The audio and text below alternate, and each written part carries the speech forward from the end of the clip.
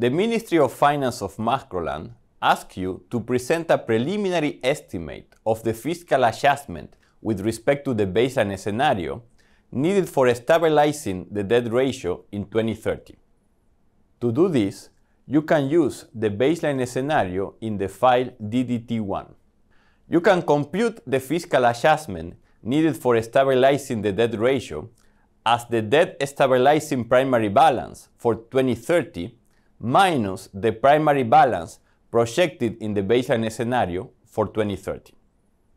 To obtain the debt stabilizing primary balance for 2030, you can select 2030 as the year for medium-term indicators in the README worksheet.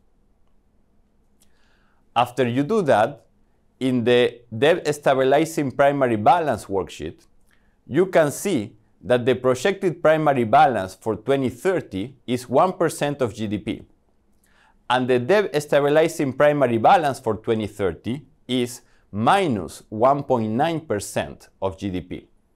Therefore, the fiscal adjustment needed to stabilize the debt ratio is minus 2.9% of GDP.